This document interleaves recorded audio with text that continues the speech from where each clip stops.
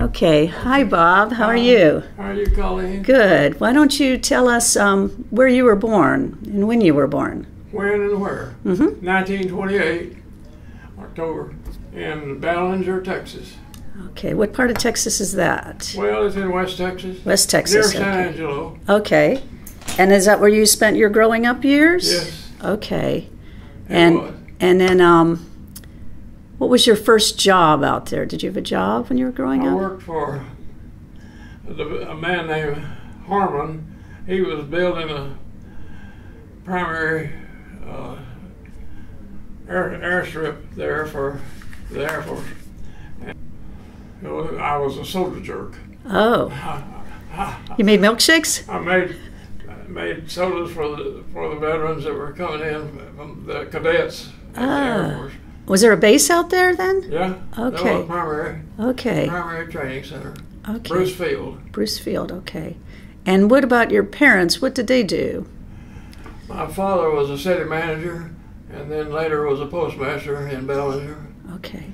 Uh, my mother was a good housewife and very active socially, politically.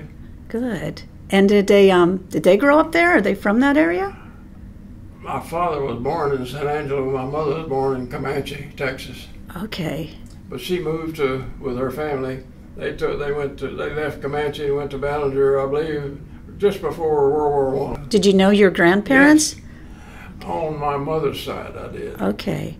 My father's they had died before I was born. And where were your mother's uh, parents from? Comanche, Texas. Okay. Oh, you got some long roots in Texas, huh? Yeah, yeah. Okay. All right. Well, why don't um why don't you tell us about their picture in the Picayune today?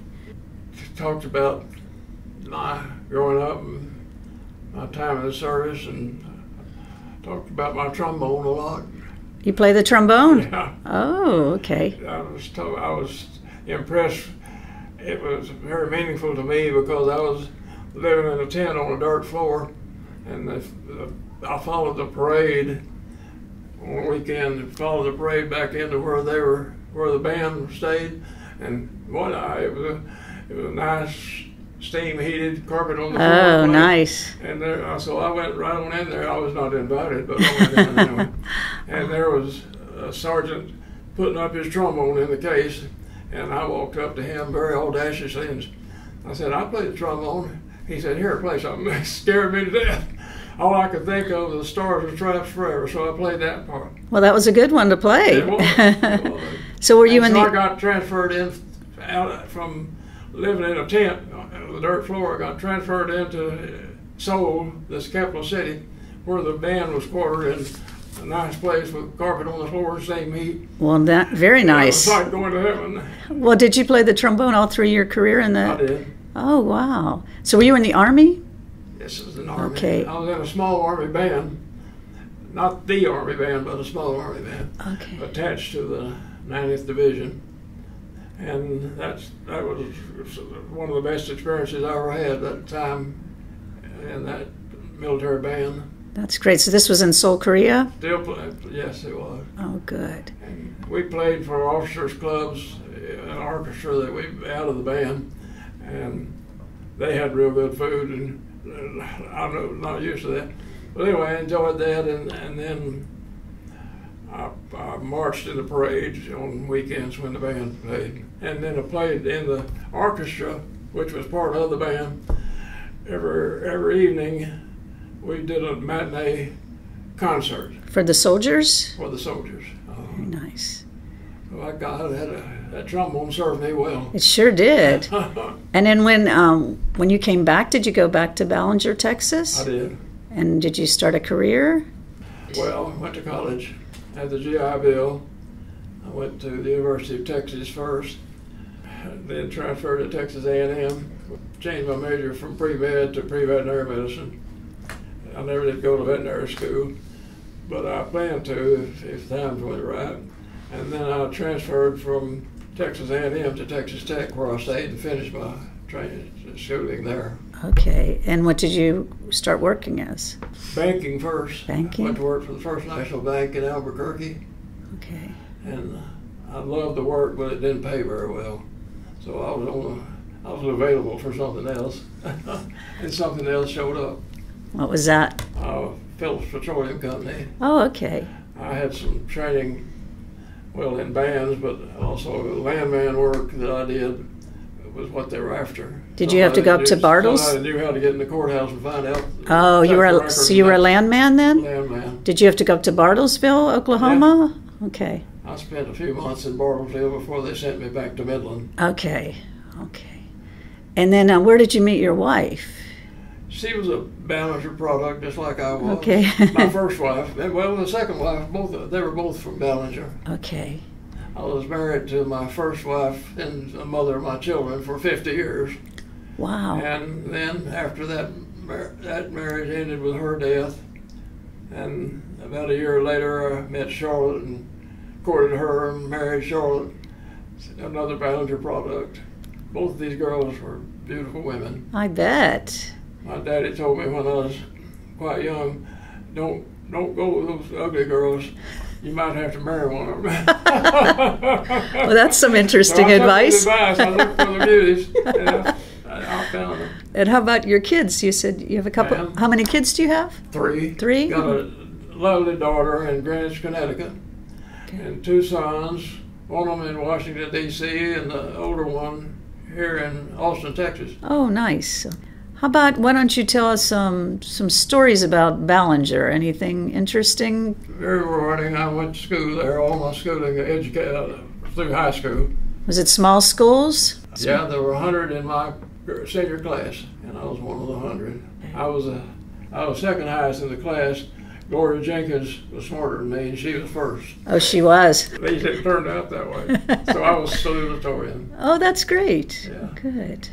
Got my picture in the paper. And then, did you spend most of your uh, working career in Midland? Yeah, Did you know the Bushes while they were there? very well. Did you? Okay. We were friends, gosh, way back, and we were in the same church and Were you? not in the same political party. They Okay. were Republicans, and I was not. Um, that was a beautiful funeral. That I don't know if you watched Oh, it. it though? I watched every bit of it and was particularly interested because I knew the, the person being honored. George W. was a real good friend, and I knew George H.W. well also. We were in the same church in Midland. Oh, okay. I know Midland's a big oil, Oh, a lot yeah. of oil out there. Yeah, that was the oil center now. Yeah. Very, very much oil. How about um, how about any stories about you growing up? Well, it was a small town. Ballinger was, then it was about a population of 5,000. I don't think it's that big now. Instead of growing bigger, they went smaller. My father was the city manager, and, and, when he retired from that job, they drafted him into the. He was a postmaster the last 12 years of his life, so he he knew everybody, and everybody knew him. That made it easy for me. Yes. And how about your wife? Um, you said you went to school. Your wife, you went to school together. My first wife, we were married 50 years, and she died early. She was nearly 70 when she died. And after about a year, I decided I needed to be married and got a phone call uh, expressing sympathy from a very pretty lady named Charlotte.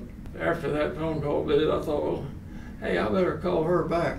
So I did, and eventually I started driving to Dallas, where she lived Oh. and courted her pretty heavy. Asked her to marry me, and she said yes. And did she move out to Midland, or where did you live? No, uh, I moved to Dallas. You moved to Dallas. Okay. I, I had lived in Fort Worth ten or eleven years, so I knew Dallas. Was, Fort Worth was good, and Dallas was bad. But that's what Amon Carter told us, publisher of the Okay. Fort Worth Star Telegram. Any funny family stories? Something? Oh, well, a lot of my my brother was also a musician. He played the drums, and he was older, four years older than me, and he started having some opportunities to play at uh, small dance halls. And since it was my brother, my parents allowed me to go with him.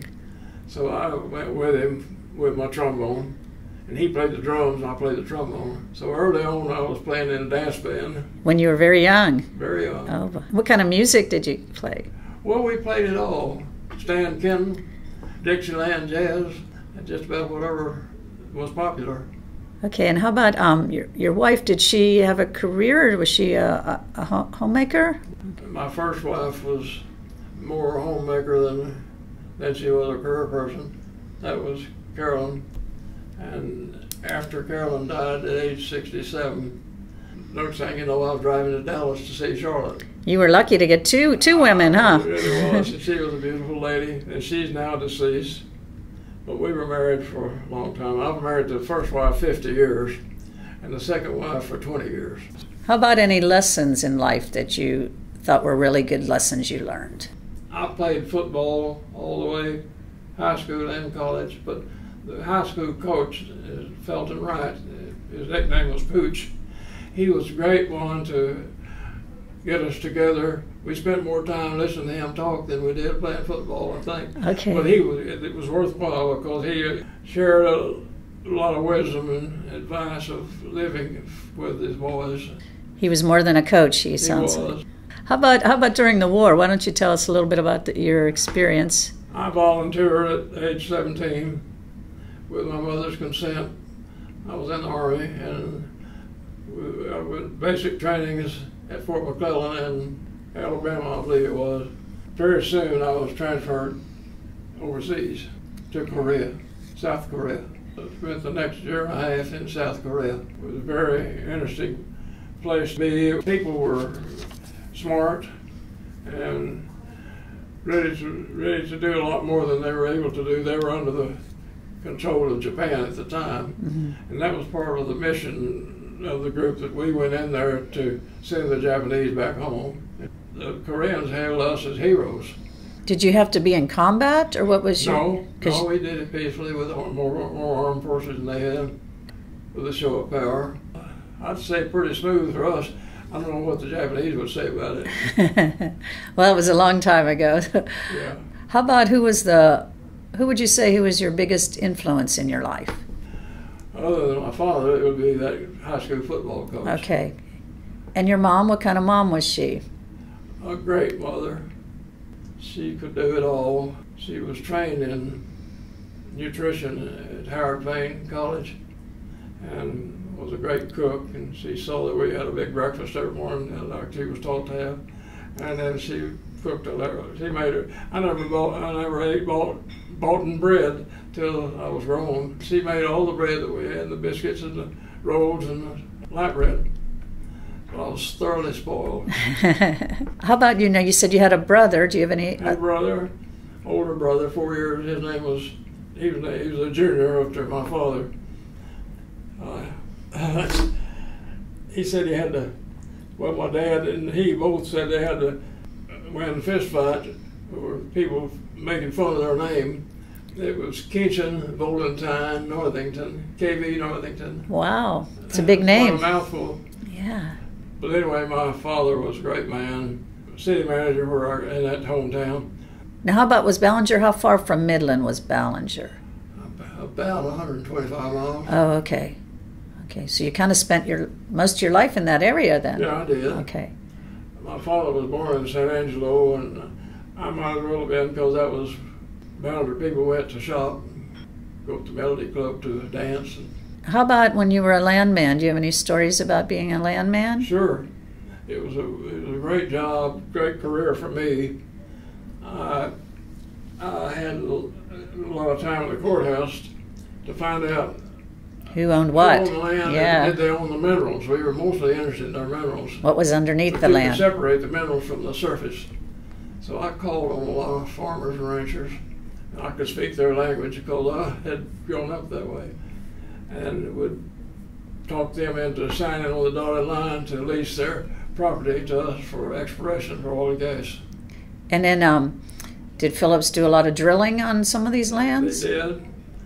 They were very active in the Permian Basin, and not so much around Ballinger, but they did some around Ballinger. The, the reserves in Runnels County, where I grew, every well you drilled came in real good, but then it went down pretty fast. It was depleted. the Permian Basin mostly operated out of Midland. Midland. And that's where I spent 25 years. So you, were you in the Midland courthouse much too? Absolutely. Okay. All the time. Okay. And other counties all around there, because we didn't just operate in Midland County. That job that job's changed quite a bit these days, don't you think? Well, it's it's easier to check the records now. To the time when I was retired, the old part of going to the courthouse and pulling these big books looking through them, that was over with. Everything was high tech. On And computers. That, baffled me. Uh, Yeah. it wasn't easy. No, no. Do you have any interesting stories about talking to the farmers and the ranchers? Yes. Um, anybody That was- remember? That was what I mainly did, and I was uh, fortunately I had done both farming and ranching and had a degree in animal husbandry, so I Oh. could talk their language and vice versa. Yeah, you were a good asset then if you knew much about farming. That would be great. So you retired from Phillips? Is that who you retired from? No, I didn't stay with Phillips that Okay. long. I was with him about eight years, and I went to work for Boone Pickens. Oh, really? His Okay. father had worked for me. His father worked His for you. father Wow. For me. Uh, I was a district landman with Phillips, and he was transferred from Amarillo to Midland and was assigned to my district. So Ah. I, I knew Tom Pickens, Boone's daddy, and I must tell you, I heard more about Boone Pickens from him than I, you, you could write a book. He, he was proud of his son, and rightly so. Yes, he did. And through him, I met Boone and became good friends with him. What was the name of their company then? Work for that went to Mesa. Mesa. Okay, Mhm. that was T. That was Boone Pickens' Uh-huh. company. Okay. Although you know a lot of people. It was a lot of fun. I loved being a landman. Was very familiar with the courthouse, so much so that everybody thought I was a lawyer, but I was not. Well, you practically were, I guess, looking I at all the. their language, imitated their language. I guess. Yes, if you knew that. I could have, yeah, I could have practiced law, but I didn't have a license. I mean, I knew enough about Right, right. law. Well, you had a very interesting life, and you know Well, some I important very- people. Very fortunate life. Good, good. Still, still have one. Yes, you're mm-hmm. still in the paper. you're Yeah. making the paper. There it is, right there. Okay. That's somebody talking to me. All right. Well, thanks so much for talking Well, with us, you. Bob.